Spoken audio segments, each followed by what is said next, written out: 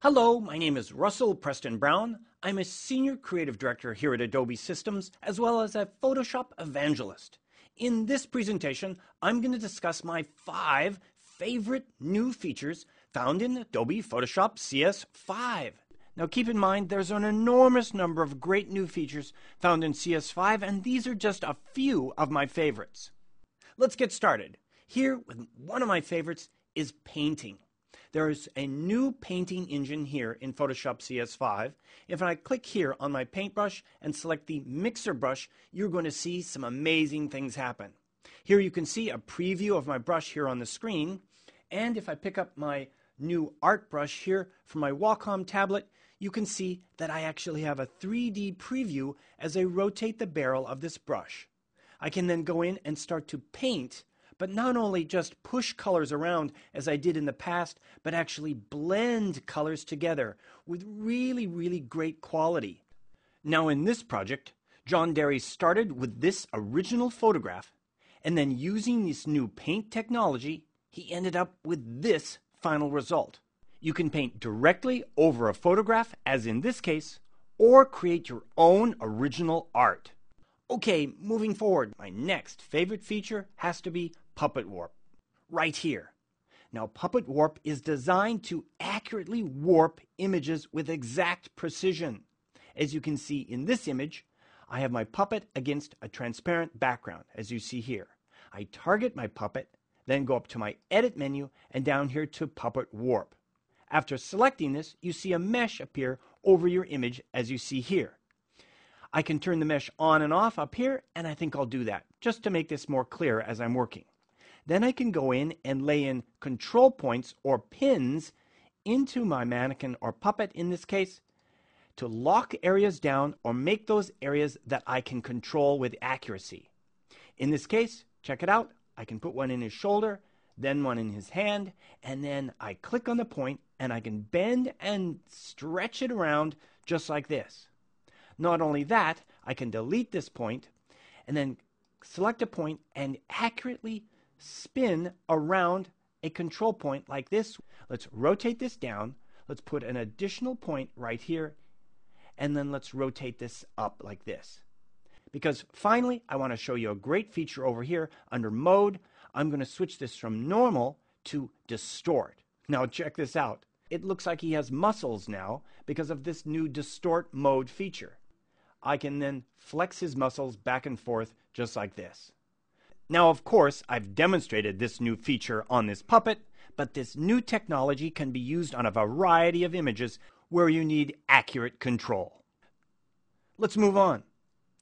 I have to talk about this new feature called HDR Pro. Now in HDR Pro, you can then merge together multiple images, in this case 11 different exposures, combining those together to get the results you see here.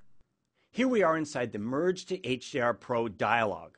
I can go up here to the top to start this off by selecting a preset. I want to demonstrate that I can go in and add a natural toning to my image, as you see here with one of my presets. Or I can even go in and add a very surreal quality, as in the case with my vibrant toning preset you see here. So you can see that there's a full range of possibilities when working with this new HDR Pro set of controls. One of the great new features that's really unique is the Remove Ghosts feature right here. Now in a project like this, each exposure was taken with a wave in a different position. And as you can see down here in this set of images, I can target the exact image or the exact wave in this case as I click here on one of them to get just the wave I wanted. Yes, that's the one with a little bit of a splash happening on this rock with the sun catching it just like that. That's great. So that's the new remove ghost feature, which then isolates a single frame as the master frame within your HDR image. That's an incredible feature. Okay, moving on, let's go to my next great feature. And that has to be the ability to make a really accurate mask and make it really, really easily. In this particular case, I want to mask out this horse. So I'm going to load in a quick mask selection that I made earlier, as you see here. And as you can see, it doesn't exactly select all of the horse's mane or of the horse's tail, the fine detail. So I'm going to start with a basic selection. Then I'm going to go over here and select my masking panel right here. Up here, I can then click on this icon to add the mask. And then finally, mask edge right here. That's where the new controls are. Because in these new controls, I can now paint in the areas of transition. What I'm looking at right now is the mask itself, as you see here. But showing you the mask is really going to show you how this works. Closing that down, I'm going to add a little bit of radius, the edge detection here, and I'm going to go in with this brush. This brush will then assign the area of transition. Notice how I just paint over this area where the mane is.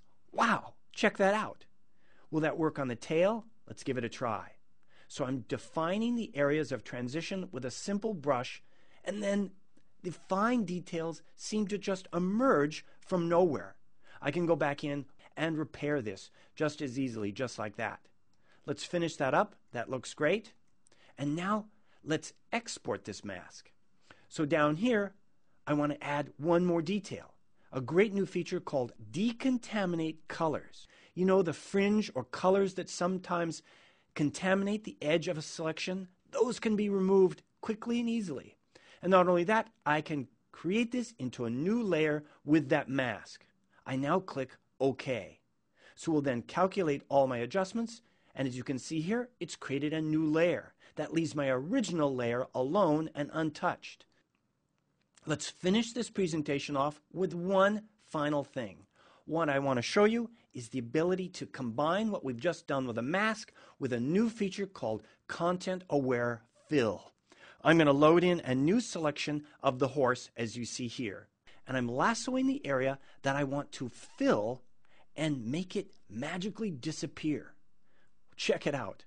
If I target this layer and then I hit my shift key and my delete key, it will automatically bring up my fill dialog as you see here. One of my choices for filling it is content aware right there. Check this out. I'm clicking OK and magically it will remove the horse from the background. In fact, the fence has been redrawn, the trees have grown, and I've put in new grass. You just have to see that again. Command Z or Control Z to undo and undo. Amazing capabilities for content aware fill. Combine that with the fact that we put this horse against a mask, select our horse with the move tool, and then we can just move that horse into a new position within our entire photograph. Great, great capabilities. So you've just seen my five favorite features found here inside of Photoshop CS5. Give them a try.